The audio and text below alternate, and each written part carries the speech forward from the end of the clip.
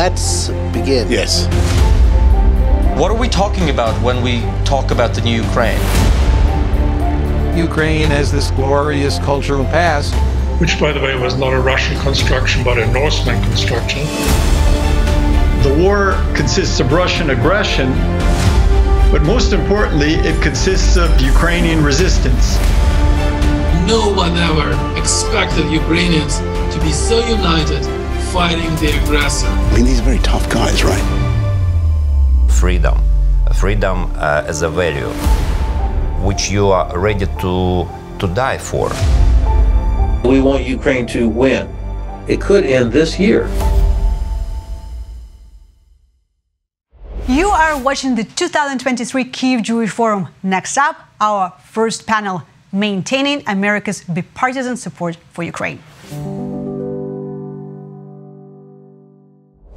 I'm Jeremy Stern, Deputy Editor of Tablet Magazine. We're here today to talk about the future of U.S. bipartisan support for Ukraine. I'm very pleased to be joined by Joseph Lieberman, former senior U.S. Senator from the great state of Connecticut, Ambassador Robert O'Brien, former National Security Advisor of the United States, and here in the studio with me, I have Andrew Mac, advisor to President Volodymyr Zelensky of Ukraine. Uh, let's jump right in. First question broad but simple. And Senator Lieberman, let's start with you. In what ways does the war in Ukraine affect the average American voter? Why should they care? Why is it a part of their lives? Yeah. Uh, first, thanks for convening uh, this forum, and I'm honored to be part of it, particularly with the, the distinguished uh, panelists uh, that are on. And I, I, I have the greatest respect for Robert O'Brien, who I worked with uh, closely when he was the national security advisor. So uh, it's a really relevant question. Why why should uh, what's happening in Ukraine um, matter to uh, the average American? Uh, probably the, the average American doesn't think about that very much. it's far away, and yet I would say probably at the most um, emotional and, and at this point important level uh, the American people uh, understand that Putin and um, Russia today are hostile to the United States, that the uh, people of Ukraine are friendly to the United States, and um, uh, what Putin has done uh, in invading Ukraine is without any justification, uh, and he's wrong. And, and yet, the, here's the most important part I think the people of America uh, have responded from the beginning to the uh, courage and um, um, willingness to fight as the smaller of the two countries involved here for their freedom and independence.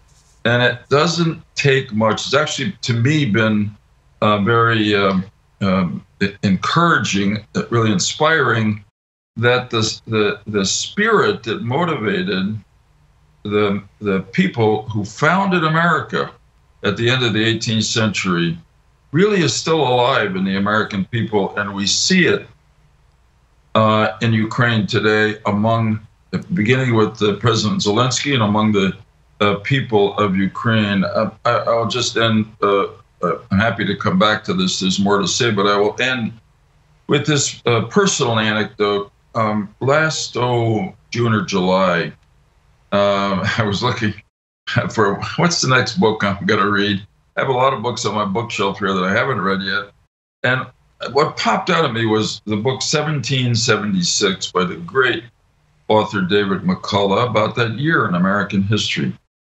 And at one point, when the war is going badly for the American revolutionaries, freedom fighters, um, Washington uh, addresses his troops, and uh, he says to them he knows uh, that uh, things are going badly, and they probably are worried about their lives and that uh, they might lose uh, in their effort to become an independent and free nation.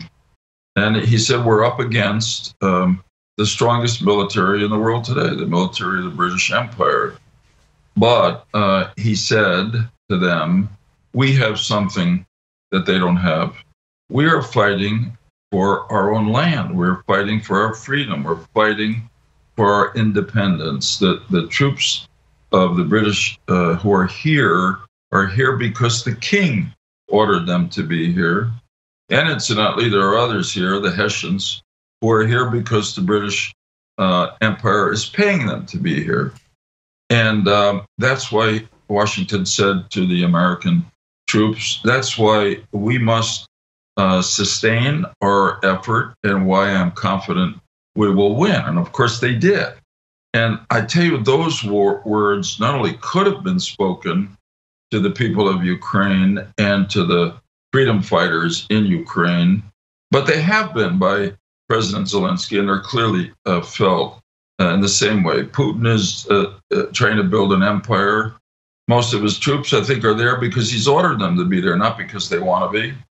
And as we know, he's paying others, the Wagner group and all the rest, to be there. They don't want to be there either. It's a job. So I think the American people at heart are inspired by this uh, example uh, of the Ukrainian people, and that's why it matters to them. I, I can get on, into more stuff about um, historic analogies and, and uh, why a victory uh, for Russia over Ukraine uh, will probably lead to a wider war in Europe that we would be dragged into. That's all relevant. But I think right now, what really motivates the American people uh, is their um, support for the people of Ukraine and, and the courage they've shown in pursuit of their own independence and freedom. Okay, thank you very much, Senator. Ambassador O'Brien, so, you know, a related question. For most of last year, maybe all of last year, Ukraine seemed like one of the few, maybe durable bipartisan issues in American domestic politics. And I think to a great extent that's still true. But we hear increasing talk in early 2023 of maybe there being Ukraine fatigue among not only American voters, but people in Europe as well. Ukraine potentially being a kind of political football on both sides of the aisle. I mean, what do you see as the big factors in determining continued bipartisan support for Ukraine over the next, say, one, two to three years? Jeremy, that's a great question, and it's wonderful to be here with you and Andy, and with my good friend Joe Lieberman. Uh, the, when I was national security advisor, I had a, a, a, council of advisors, and I made it bipartisan, which is is not easy to do these days in Washington. And and Senator Lieberman and others were part of that that uh, council of advisors, and I was grateful for his advice, and Pete Wilson and some of those other uh, former colleagues. So. Uh, great to be with you, Senator and, and Andy. Look, I, I think there's a, a real question uh, about how Ukraine maintains the uh, support that it has among the American people. We're a very polarized country right now. And uh, one of the things that has pulled us together, as you mentioned, Jeremy, is the bipartisan support for Ukraine. And I think that bipartisan support is continuing. Uh, I, I, don't see it fading away. But I think there's some things that Ukraine has control over to, to maintain that support and some things they don't have control over. But I, I, I lay out a couple of factors. Number one, I think it's very important for the Ukrainian government uh, to make sure that it behaves in America with its diplomacy on a very bipartisan basis. It, the, the presidency in America, the executive office has so much power, and, and they're, the folks who are supplying the equipment and, uh, and interacting with the, the Ukrainian government daily. So it's very easy to get drawn into the White House orbit, and, and the, the Ukrainians should. They should be very, very close to the White House but at the same time, they don't want to be look as if they're they're attached to the the Biden White House as we go into a, a political season, a, a, new election campaign for president of the United States. Ukraine has to be about Ukraine and, and it has to maintain bipartisan support. So it has to avoid any politics. Number two, I think Ukraine has to ensure that the corruption fight, which has been going on since I first went to Ukraine and back in 2014 after the Maidan Revolution, Ukraine has to continue to fight corruption so that so that the American people and the Europeans understand that the money that's going to Ukraine, the the the treasure and the material that's going to support the Ukrainians in this fight, is actually getting to the soldiers at the front lines, the war fighters, to those people that have shown such daring and boldness that that Joe talked about. I think number three is they've got to continue the valiant defense of Ukraine, and and that's a lot for us to ask. Uh, the Europeans and Americans, and I, I think we think we would pat ourselves a little bit on the back too much for what's happened in Ukraine. We've supplied material, we've supplied weapon systems, platforms, but it's the Ukrainian people that have been so daring and they've been so resilient and so uh, courageous in their in their fight against Russia. I mean, this is a, a, a, situation that most of us thought would be over in two or three weeks. We thought the Russians would roll in and and take Kiev and and capture Zelensky, President Zelensky and his family and and install a puppet government. And just the opposite's happened. The Ukrainians have, have fought magnificently, and they've they've shown the world a, a level of bravery that and heroism that we haven't seen since maybe the Second World War. And so they've got to keep up the defense. The, the last comment I'll make is uh, the fourth point is Europe has to really contribute. And that's not something that's totally in Ukraine's control. But Americans can't care more about a war in Europe than the Europeans care about a war in Europe. And, and Ukraine has some wonderful allies in Poland and the Czech Republic and Slovakia and, and the UK. Uh, France has been stalwart. The Germans always seem to do the right, right thing, but it's after a lot of kicking and screaming to get there. But the Europeans really need to come together and put in the kind of support for Ukraine uh, that the Americans have, both on the weapons side, but also on the development side, on the ec- economic side. And uh, and so that's something that the Ukrainians are going to need to continue to encourage their European friends to stay involved because if Europe draws back, or if Europe wants to go back to how it was, especially Germany with the Russians, uh, that's going to make it very difficult to rally continued support in America. So I think those are the four factors. Three are in control of Ukraine. One's a little tougher with uh, with Europe, but but I look, I, I, I believe that this is bipartisan support for Ukraine will continue. Is a fight for freedom against uh, dictatorship. We saw what happened when when people didn't want to get involved in a faraway place of a dispute we knew little about back in 1938, and we, we realize appeasement can't sate a dictator. Putin won't be sated by Ukraine. It'll be Moldova next. It'll be uh, the Baltics. It'll be Poland. And his friend, his unlimited partner, Xi Jinping, who's watching this war very closely in Beijing, is, is looking to see if this is a, a, a green light or if he can take some sort of lesson from this that would allow him to invade our democratic friends in Taiwan. So this this war has enormous implications for the American people, but also for the West and for the idea of freedom. And uh, we need to stick together, uh, Republicans and Democrats, and, and support our friends in Ukraine. And, and they have to do the heavy lifting. It's, it's, it's, it's easy for us to say we'll continue to support Ukraine. And frankly, it's somewhat easy for us to send money and material. Uh, it's the Ukrainians themselves that are, that are, that are spending their, their, their blood in addition to their treasure to defend their homeland. And, and they've got our prayers and, uh, and our support. Thank you, Ambassador. So, Andrew Mac, you're in regular touch with the Zelensky administration. They rely on you for advice and analysis about U.S. domestic uh, dynamics in politics. How do you interpret the situation here for them and what they need to pay attention to? So, first of all, uh, thank you for having me here. It's great to be on such an esteemed panel.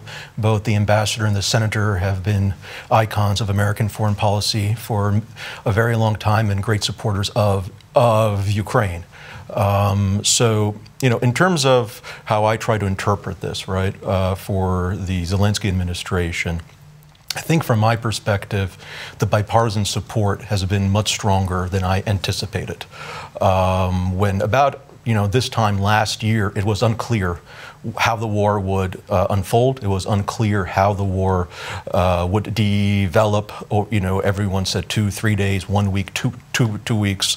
And uh, quite honestly, there was a reluctance leading up to the war to supply Ukraine with the weapons that it needed because there was fear, especially after what happened in Afghanistan, that um, uh, this would be wasted resources. Um, I think the most critical part of securing bipartisan support were the first few days and weeks, where Ukraine showed the world and with everybody here watching that it can win, it will win, uh, and it's going to fight uh, to the very end. Uh, once that hurdle was uh, overcome, the amount of bipartisan support greatly uh, exceeded any estimate that we had had. Um, with the exception of a few fringe elements in both parties. We literally had 80, 90% support, and I believe the vast majority of that support one year later still, is still there. So if, for example, uh, Vladimir Putin thought that he could run out the clock, that he uh, could uh, keep this war going for a year, two years, and people would lose interest. So far, uh, if that is his calculation, this has been proven wrong. Um, so I do agree. Uh, Ukraine definitely needs, and I uh, to maintain a strong bipartisan uh, agenda and support here. Um, and you know, I, I, was very heartened to see Senator McConnell. He wore the brightest blue and yellow flag I've ever seen during the State of the Union a couple days ago. Uh, so I think the leadership of the parties um, on in both the House and and the Senate uh, are with us 100%, both on the Democratic and on the Republican side. Um, and I don't foresee any circumstance where that would change, uh, you know, in, for the foreseeable future. Um, so overall, we're very heartened by what by what we see. Also, you know, uh, obviously the support from the from the uh, people, you know, and I thought that the Ukrainian flags were only in the D.C. area. Having traveled uh, in the summer and fall throughout the country, they're everywhere, and uh, this again shows me that the level of support uh, across the country to help Ukraine actually I don't think has sub- subsided in any way. If anything, it seems to have in, increased as they see Ukraine uh, as they see Ukraine forging uh, for a victory. Right. Thanks very much. Support for the war in Ukraine depends, as always, in uh, government politics, life on leadership, and uh, uh, we cannot allow, as Ambassador uh, Zek said, that we can, Max said we cannot allow uh, Ukraine to become a partisan football. We're, we're coming into a presidential campaign. It's going to be a spirited congressional campaign, 2024, and uh, th- there's always a temptation in those campaigns uh, to um, uh, to look for a distinguishing issue, and one could find it either in the, the cost of supporting the Ukrainian fighters uh, or in, uh, as Robert said, the, the relatively less support, although pretty good so far, from our European allies. So the, the, the best hope here is for all of us who care about this fight and know how important it is to America's security, European security, and world security, to the idea of freedom, uh, to uh, make sure that nobody's tempted to make uh, partisan politics out of uh, the war in Ukraine and our support for the Ukrainian people. Absolutely. Well, we have with us here one of the great uh, experts in the country on the inner workings of the US Congress and one of the great experts on the inner workings of uh, the executive branch and the White House in particular. So, a question about process. Um, so we've seen a pattern over the course of the last year where the Ukrainians make requests for certain weapon systems from the Americans and from the Europeans that we begin by in some ways declining kind of on principle, and then over time we incrementally or gradually uh, grant the request, presumably in order to avoid the impression of rapid escalation with Russia. We saw this in the past with HIMARS, most recently with tanks. Now the issues seem to be either fighter jets or maybe ATACMS. So the question is, what do you see, what are the Ukrainians asking for now? Why isn't the U.S. providing them? And in your view, should we be providing them? Or is the administration and Congress to together doing a good job of you know, balancing our obligations to the Ukrainians with our obligations to avoiding the impression of a direct NATO Russia uh, confrontation. Uh, Ambassador O'Brien, let's start with you. Well, thanks, Jeremy. It's a, it's a great question. We saw this emerge early on. Uh, the most prominent example were the MiGs, that Poland wanted to give MiGs to uh, Ukraine. The Ukrainian pilots are trained to fly them. Uh, I thought we should have gotten that deal done, but I thought we should have gotten it done quietly. I, I kind of jokingly said if uh, Gina Haspel was still the director of the CIA, she would have sold the Ukraine the uh, the, the planes to Ukraine through a, a, Russian broker. So Putin would have gotten his ten percent. Uh, the Ukrainians would have gotten their planes, and everyone would have been happy. But uh, look, I, I, think there's too much of this that's going on uh, in public, whether it's the German Leopards or ATACMS from the U.S. or what kind of fighter planes we're going to give the Ukrainians.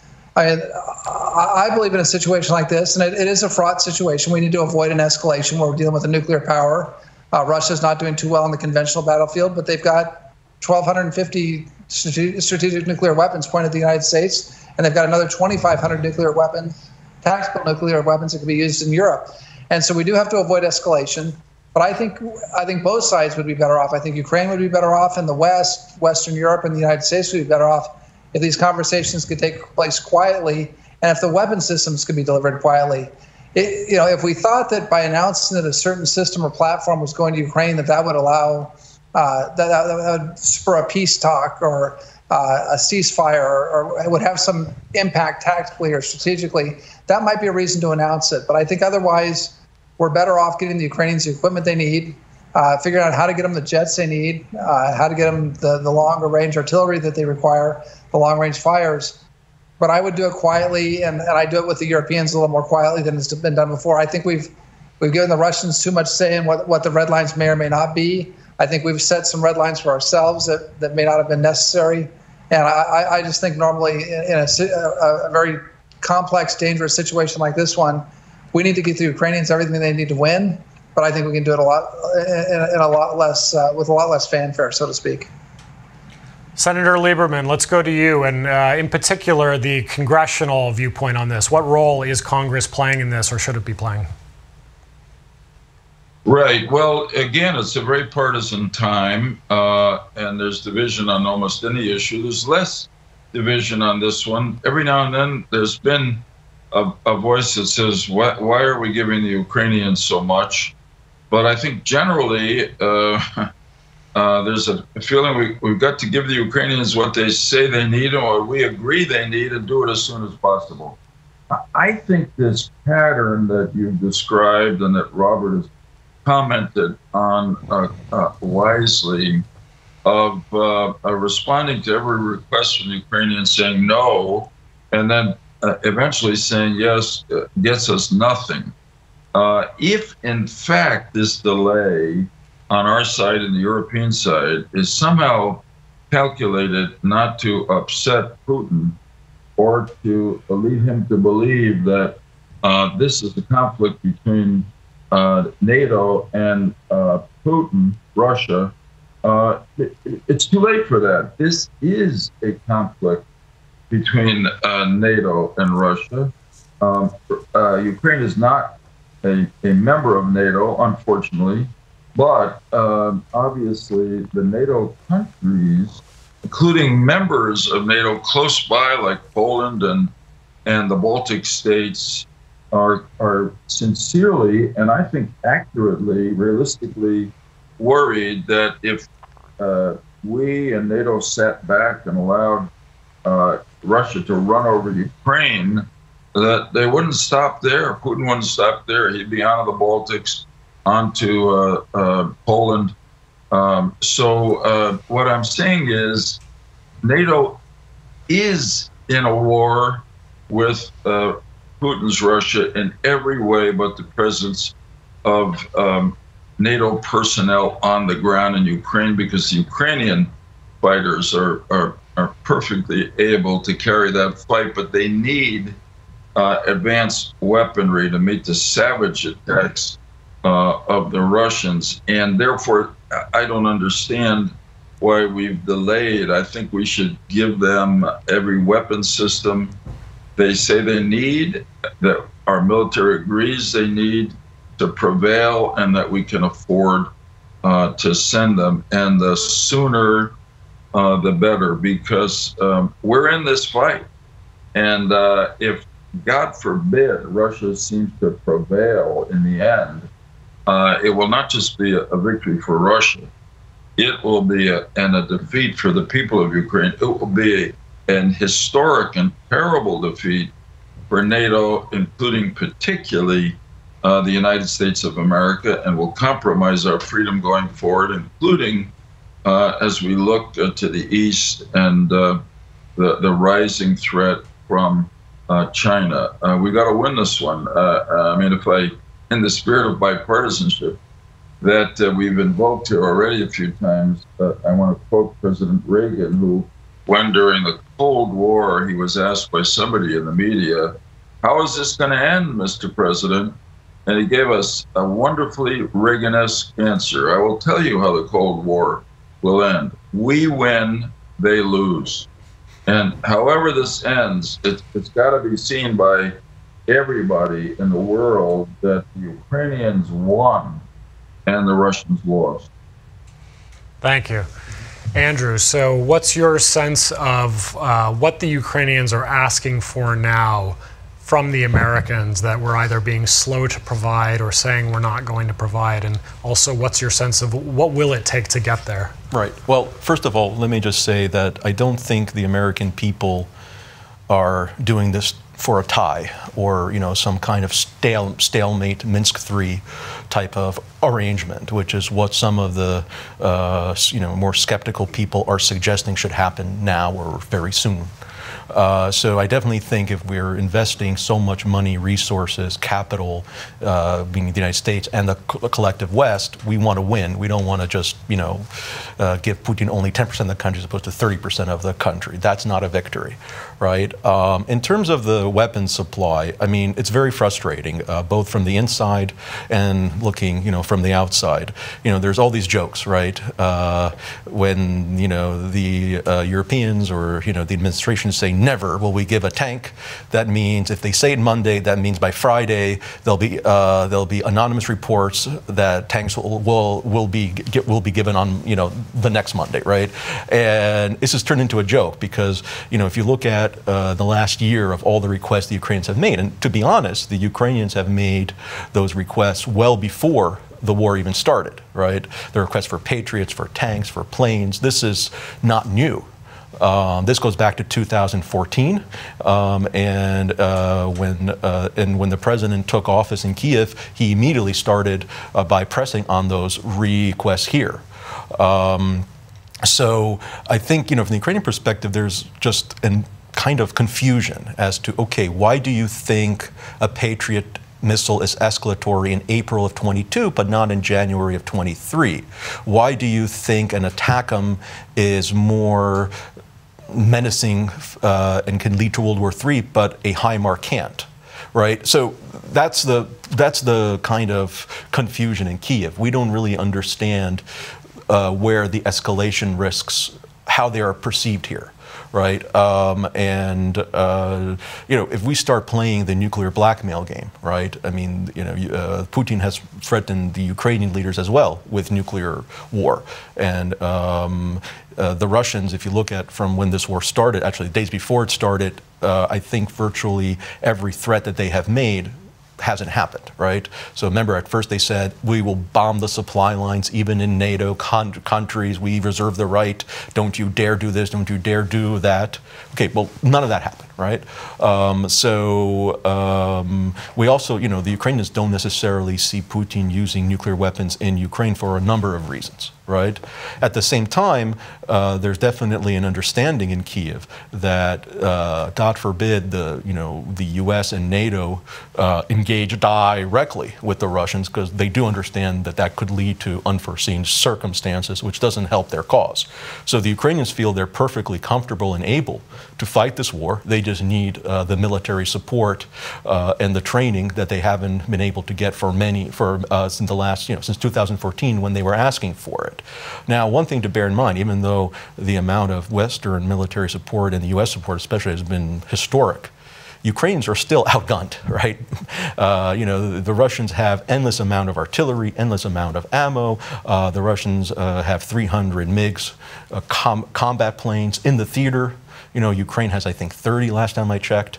Um, you know, so it's not that Ukraine is saying, you know, we need to uh, basically uh, double uh, what the Russians have. We're, the Ukrainians are saying, you know, this is sort of, the requests are based on a bare minimum that Ukraine needs to defend its territory and to retake the territory that was seized.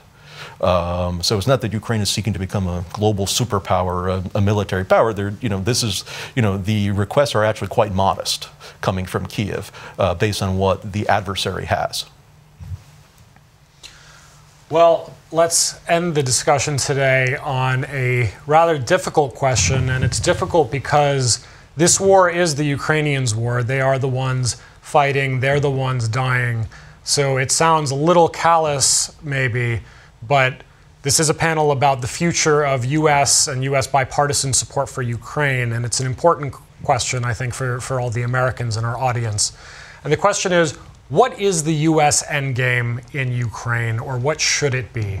Um, possibilities you hear talked about often are the endgame should be a Ukrainian victory with the reclamation of all previously lost territories, or it should be a negotiated settlement that includes the Russian annexation of some territories that have been lost since 2014 or since last year.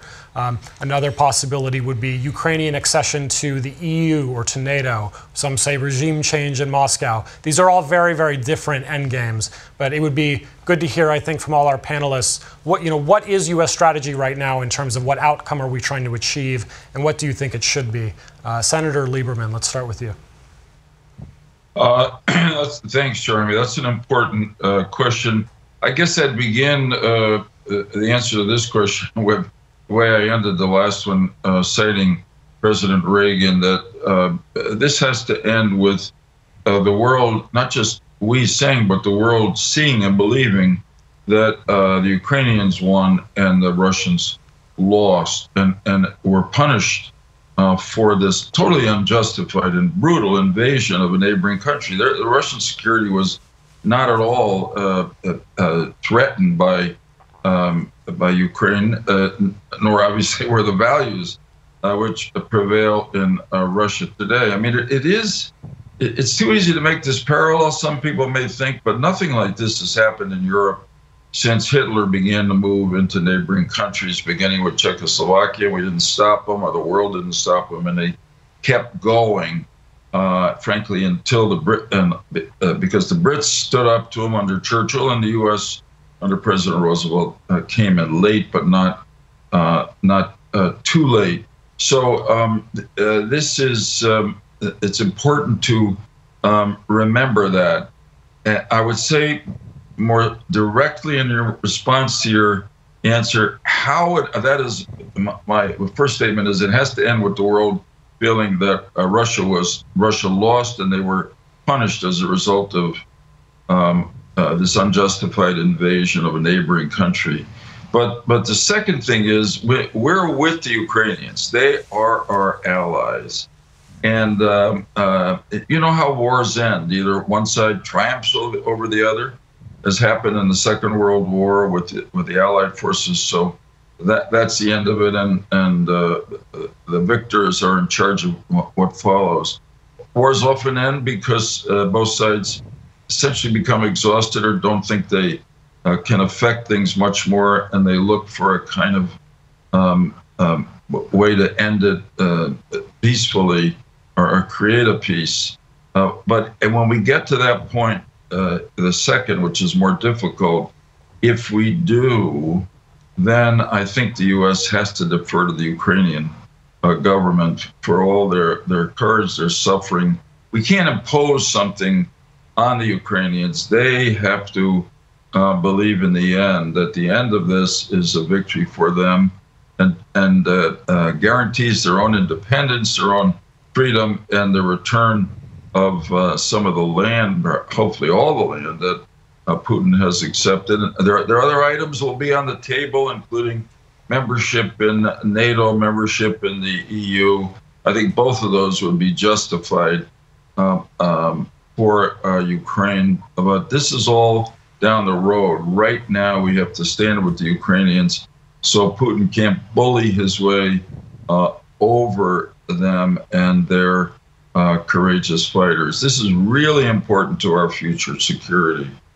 Uh, it, it is really the greatest challenge to our security um, since the Second World War, in my opinion. Even though I know the Cold War was was uh, always fraught with the possibilities of nuclear war, and we've had a lot of other uh, wars in which we've been involved, Korea, Vietnam, etc.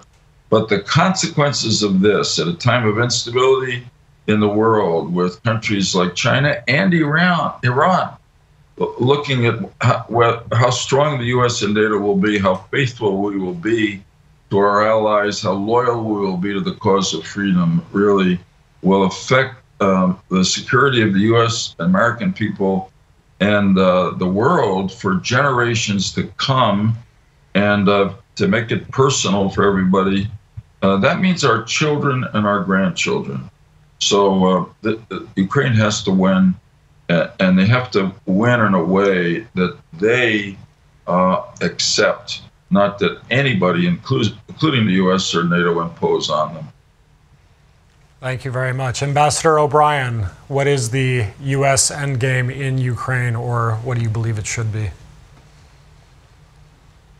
Well, listen, after hearing that eloquent uh, statement from Senator Lieberman, I find myself in, in agreement with him. Uh, look, we, we have the, the idea that a neighbor, a one country could conquer its neighbor and obtain good title to that territory hasn't been part of international law since at least the end of the First World War that, that a, a, stronger or bigger neighbor could just take over the, the smaller neighbor and incorporate it into its, its country or empire. And that would be viewed as good title, to use a legal term, if you're a real estate lawyer. That, that, that just hasn't been a thing. When, when Hitler did it uh, in, in Czechoslovakia, it was a breach. When, when Mussolini tried to do it in, in uh, Ethiopia, it was a breach of, of international norms. Now, the League of Nations wasn't strong enough to stop them. But if we go back to a time when a, a larger country can conquer its smaller neighbor, we're going to have the, the, the world is going to be a very dangerous and a very unstable place. And you're going to have the regimes that Joe talked about, Iran looking to expand. It, it already is using proxies, but it's going to discard the proxies and just invade its neighbors itself. Uh, Xi Jinping is already talking about invading Taiwan using the same excuses, historical rights that uh, Putin has used for, for Ukraine. So we, we can't go back to that kind of a system. Uh, number two, you know, Ukraine has to decide what it's going to do. It's not for the American people to decide and for the American government to decide what Ukraine's going to do to end this war. We have to support the Ukrainians, and, and whatever, there may come a time that they decide to cede some territory, to not cede territory, uh, to fight on. We need to support the Ukrainians. I think this is ultimately uh, up to them. As far as some of the things that we can do to protect Ukraine long term in the event of a peace, or even if, if peace isn't reached uh, anytime soon, I think EU membership for Ukraine is something that, that needs to happen immediately. It's an economic uh, uh arrangement. Uh, it's it's a key to to, to European uh, solidarity, and I think the Europeans we haven't asked much of the Europeans either in the Cold War or in in since in the war on terror and in this war. We've bared the, the, the U.S. has bore the burden uh, obviously in this case with the Ukrainians who are doing the fighting. The Europeans need to step up, and this idea that it'll take some five to ten years to get Ukraine in the EU, that, that's just not acceptable. Ukraine should be made a part of the EU soon. That would show strength. It would show the determination of the Russians. It would show the Russians that they're not going to have an easy, quick victory. Uh, as far as NATO goes, there's a, it's, a, it's a little more complicated with NATO than EU membership because NATO is a military alliance. Yeah, NATO has Article 5, which is sacrosanct, so that if one member country is attacked, uh, then all the countries consider themselves to be attacked and will come to the aid of the, the country that's in danger. Here we have an ongoing war, and we have an ongoing war with the nuclear power. So I think NATO should do everything it can, as it has been, to support the Ukrainian people, to support the Ukrainian war fighters. And, and Joe talked about this, and Andy talked about it. You know, Ukraine's not asking for us to impose a no-fly zone. They're asking for the planes so their pilots can impose their own no fly zone over their own sovereign territory. They're not asking for American troops, unlike other countries, to come patrol the border with Russia. They're, they're just asking for the tools to do it. And so we need to be there for them. And, and so I think NATO membership is a little more uh, distant. I think what the Ukrainian government can do is, uh, uh and it's, this is a, a, big ask of them because they're in the middle of a war for ver- their very survival.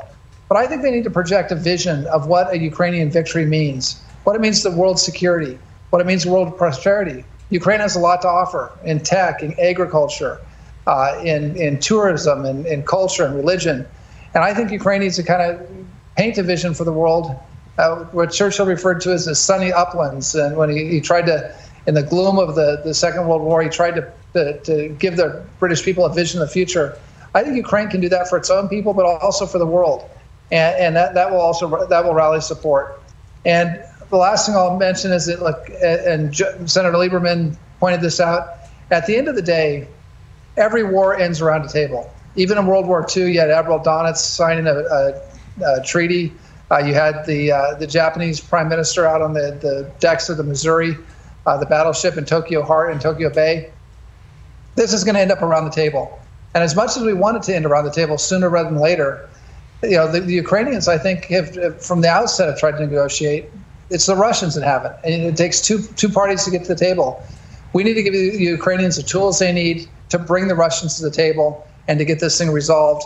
But at the end of the day, I think it's for the Ukrainians themselves to resolve the, the, the, the war with their Russian neighbors and not for us to impose a, a, resolution or a peace on Ukraine. We've tried to do that in the past. It hasn't worked. We, we need to be there for Ukraine, and we need to be there in a strong bipartisan fashion, as both Andy and, and, and Joe have pointed out. So, uh, and in the meantime, we're going to have to roll up our sleeves, and, and it's going to cost us some treasure. Uh, but we're going to have to do what we need with our defense industrial base to produce the, the equipment we need for our own troops, but also for the Ukrainians and others.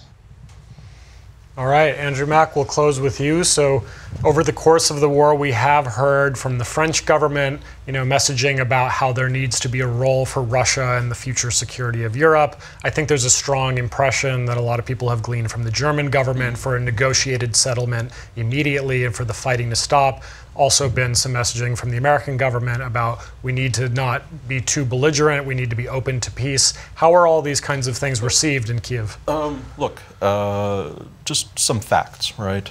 First, Russia is 28 times the size of Ukraine. 28 times, right? Uh, the idea that Russia deserves to get some territory as a buffer, given its size, is just absurd, right? Uh, second, um, again, Russia initially started the war by annexing Crimea in 14. Then they expanded the war quickly into Donbass and annexed that territory early on. And then, uh, if that wasn't enough, in September, they annexed territory that they occupied and even some that they don't control yet. And Russia has stated as its policy is to get uh, the territory that they don't control yet, that they annexed in September. So, in light of those facts, I mean, people in Kiev just don't understand what type of settlement there can be now, right? It's not that Russia is trying to go closer to a peaceful settlement. Russia is actually doing its best to go further away from a peaceful settlement, right? Um, also, at least to the best of my knowledge, uh, there's been no pressure uh, from the administration here on the Ukrainians to enter to enter into a premature peace arrangement. Uh, at least, you know, I have not heard of anything like that. Uh, there's an understanding that right now, sadly, there's nobody to negotiate with. Um, in terms of the territorial claims, and I understand that cry that you know, uh, cry Crimea for whatever reason is somehow viewed as uh, potentially something that can be sacrificed to the Russians, whereas you know Kherson can't be, right? Hard to explain to those people living in uh, those Ukrainians who are living under occupation in Crimea why their rights are subservient to the rights of Her- people living in Kherson. But this is a common held theme, right? Um, I think. In the Ukrainian perspective, the war started in Crimea, it should end in Crimea, right? Uh, that territory has to be uh, taken away from, uh, from Russia. Uh, whether ultimately that happens through military means or other means, that remains to be seen. Uh, but right now, uh, you know, this this idea that somehow uh, the Russian government could become a once again a good citizen of Europe, um, and uh, we, there could even be some kind of arrangement on territory that it's occupied.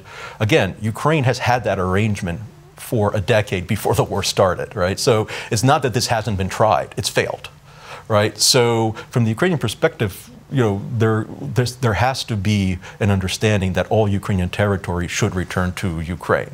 Otherwise, the president has to uh, explain to his people why one city is, uh, is less Ukrainian than another city, and that makes no sense. So I doubt they'll see much leeway on that. Um, where I do think potentially, you know, and I do agree that ultimately there will be a negotiation that ends this, no matter you know how it looks. I do think uh, that if there is a way to diplomatically uh, achieve something, uh, to, to achieve that goal, as opposed to a military way to achieve it. I think there would be a preference to do it diplomatically because it's the Ukrainians who are dying, right? Um, but right now, they, they don't see that at all. They don't see any, any uh, way to have this, uh, have anything remotely resembling a peace conference now. Um, and the president even offered one in in February. He often he offered to have one here uh, here in the states in February. Russians rejected it, I think, in about 30 seconds. Right. So you know, it's not that the Ukrainians don't want it. Right. Second thing, when it comes to EU accession and NATO, uh, look, I think it's inevitable, both of them. Even I think Dr. Kissinger said uh, after what's happened, Ukraine's future is with NATO and it's with the European Union. Uh, regarding how fast it happens, I agree the European Union accession could happen much quicker uh, than NATO accession. But I do believe both will happen in you know the next 10 to 20 years. Um, and regardless of when and how this ends, Ukraine will be integrated with uh, with uh, with the with with the West with the uh, U.S. especially. And you know, from an American interest perspective, there's a few things. One is, and for some reason, it's not often spoken here in D.C. But don't is there anybody who doesn't think China is watching what's happening in Ukraine and that that will not impact any decisions they make to start a war? Of course, right? And how this war ends and how resilient we all are in helping Ukraine will determine, I think, whether they start a war uh, in in in Asia. If they think, okay, we can outlast the West for a year or two years, great, right? We can do it, right? We can do a blockade, a naval blockade, uh, and we can get what we want. So I think actually peace in Asia in many ways is determined by what happens now and how this war ends. Right. Um, second thing is, even within Europe, from an American interest perspective, Ukraine is a natural ally. It's the size of Poland, is bigger even, um, and uh, together with Poland, you know, could become the new center in Europe. What I never understood is, you know, when you when you hear the word Europe in D.C., you think of Germany and France, right? Well, but why not Ukraine and Poland? You know, isn't that the future really? Right? Not that Germany and France aren't, you know, won't be an integral part of Europe, but you know, why is it only them associated with that term? Uh, I think you know, next 20, 30 years, we'll see a Europe where Ukraine and Poland take a much larger leadership role, and that will be something to the benefit uh, of Washington. Okay, well, on that very sobering note, I want to thank Ambassador Robert O'Brien, Senator Joseph Lieberman, Andrew Mac. This has been a fantastic and very informative discussion. So, on behalf of the Kiev Jewish Forum, I want to thank all three of you.